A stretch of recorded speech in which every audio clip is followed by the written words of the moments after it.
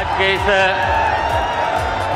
लोकार्पण कार्यक्रम में सबसे पहले वीरता और पराक्रम की इस पावन माटी बुंदेलखंड की धरती पर विश्व के सर्वाधिक लोकप्रिय नेता, हम सबके अगुआ समृद्ध और सशक्त भारत के शिल्पकार, देश के यशस्वी प्रधानमंत्री परम आदरणीय श्री नरेंद्र मोदी जी का 25 करोड़ उत्तर प्रदेश वासियों की ओर से हार्दिक स्वागत और अभिनंदन करता हूँ।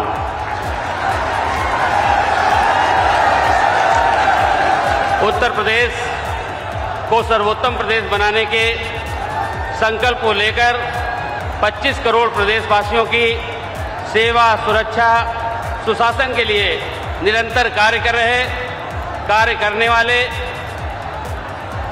प्रदेश के कर्मयोगी मुख्यमंत्री योगी आदित्यनाथ जी, माननीय उप मुख्यमंत्री द्वय श्री केशव प्रसाद मौर्य जी, श्री ब्रजेश पाठक जी, बुंदेलखंड की माटी के लाल, यशस्वी प्रदेश अध्यक्ष एवं उत्तर प्रदेश सरकार में वरिष्ठ कैबिनेट मंत्री श्री स्वतंत्र देव सिंह जी, केंद्र सरकार में माननीय राज्य मंत्री श्री भानु प्रसाद, भानु प्रताप वर्मा जी, राज्य मंत्री हमारे सहयोगी, सैनी जी राज्य मंत्रीगण सम्मानित सांसदगण, लोकप्रिय विधायकगण, सभी अधिकारीगण, पत्रकार बंधुओं, इस मंडल में इस पंडाल में मौजूद विशाल जनसमूह का मैं अपनी ओर से, अपनी सरकार की ओर से और सरकार के मुखिया योगी आदित्यनाथ जी की ओर से हार्दिक स्वागत और अभिनंदन करता हूँ।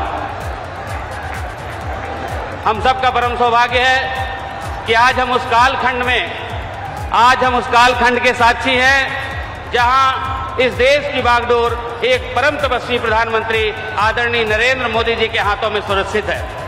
हिंदुस्तान को चाहने वाला हर व्यक्ति, हिंदुस्तान को प्यार करने वाला हर व्यक्ति, हिंदुस्तान की तरक्की चाहने वाला हर व्यक्ति हिंदुस्तान को विश्व गुरु बनते, देखते हुए, देखने की चाहत रखने वाला प्रत्येक हिंदुस्तानी जिन्हें देश के भाग्य विधाता के रूप में देखता है और महसूस करता है, ऐसे परम आदरणीय प्रधानमंत्री जी के कर कमलों से बुंदेलखंड एक्सप्रेसवे की बहुमूल्य सौगात उत्तर प्रदेश को मिलने जा रही है।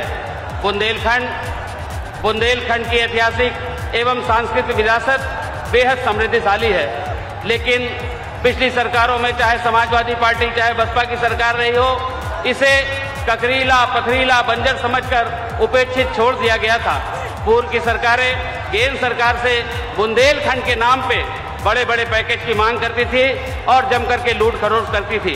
जहाँ एक और पिछली सरकारों ने लागत बढ़ाने की नीयत से जानबूझ के विकास की परियोजनाओं को सालों साल तक लटकाई जाती थी, वहीं दूसरी ओर हमने बुंदेलखंड एक्सप्रेस को निर्धारित समय सीमा से करीब आठ महीने पहले पूरा कर लिया है और 1132 करोड़ रुपए बचाने का काम किया है। माननीय प्रधानमंत्री जी, आपके आइडिया ऑफ़ इंडिया, एक भारत श्रेष्ठ भारत के विजन से प्रेरित होकर माननीय मुख्यमंत्री जी के नेतृत्व में हमारी सरकार ने मिशन मोड में उत्तर प्रदेश के समग्र विकास के लिए संकल्पित है। हमें आपको बताते हुए गर्व का अनुभव हो रहा है कि आज आपके कर कमलों से इस एक्सप्रेसवे को लोकर्पित होने के बाद कुल एक्सप्रेसवे का, भारत के कुल एक्सप्रेसवे का सैंतीस पॉइंट सात परसेंट उत्तर प्रदेश का हिस्सा हो जाएगा। बुंदेलखंड एक्सप्रेसवे इस क्षेत्र के लिए वरदान साबित होगा। पूरे बुंदेलखंड क्षेत्र में उद्योग, निवेश, व्यापार को बढ़ावा मिलेगा। युवाओं को बड़े पैमाने पर रोज़गार के नए अवसर मिलेंगे। माननीय प्रधानमंत्री जी, आपके रिफॉर्म परफॉर्म ट्रांसफॉर्म के मंत्र पर चलते हुए नए भारत का नया Uttar Pradesh one trillion dollar की इकोनॉमी बनाने के लिए, बनाने की दिशा में तेज़ी से आगे बढ़ रहा है। अब उत्तर प्रदेश की पहचान जातिवाद, परिवारवाद, माफियावाद से नहीं, बल्कि एक्सप्रेस प्रदेश से होती है। एक्सप्रेस प्रदेश से डिफेंस कॉरिडोर से इंडस्ट्रियल कॉरिडोर से food park toys park medical device park logistic park से हो रही है। आज के इस अवसर पर मैं यूपीडा के सीईओ अवनीश अवस्थी जी को और उनकी पूरी टीम को बधाई देता हूँ, जिन्होंने तय समय से पहले इस एक्सप्रेसवे के निर्माण को पूरा करके भविष्य की परियोजनाओं के लिए एक मिसाल कायम की है। मैं अपनी बात को और आगे न बढ़ाते हुए इस पंडाल में, इस पंडाल में आगे से लेकर पीछे तक जो खचाखच भरा हुआ पंडाल है, विशाल जनमानस की ओर से माननीय प्रधानमंत्री जी के लिए चार पंक्तियाँ कह करके अपनी वाणी को विराम देता हूँ कि 2024 की 2024 की आमद का ये ऐलान है। मोदी में होने को फिर से बेताब हिंदुस्तान है। मोदी में होने को फिर बेताब हिंदुस्तान है। है सहनशाही में भी, है सहनशाही में भी साने फकीरी का कमाल।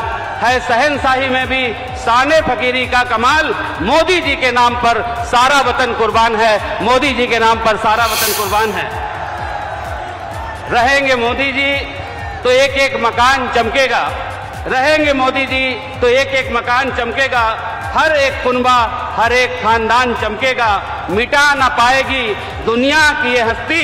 कुछ इस तरह से अपना ये हिंदुस्तान चमकेगा। कुछ अपना, कुछ इस तरह से अपना ये हिंदुस्तान चमकेगा।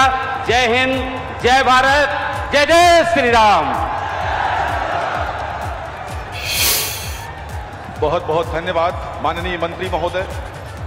उत्तर प्रदेश के माननीय मुख्यमंत्री महोदय के पहले पाँच वर्षों के कार्यकाल में, उनके मार्गदर्शन में प्रदेश में कई क्षेत्रों में अभूतपूर्व कार्य हुए। पूरे प्रदेश को एक्सप्रेस वे से जोड़ देना उसी विजन का हिस्सा है। सच तो यह है कि उत्तर प्रदेश के सर्वांगीण विकास को गति देने के लिए, उसे वन ट्रिलियन डॉलर्स की इकोनॉमी बनाने के लिए योगी 2.0 का मुकाबला और किसी से नहीं, बल्कि उनके पहले कार्यकाल, यानी योगी 1.0 से ही है।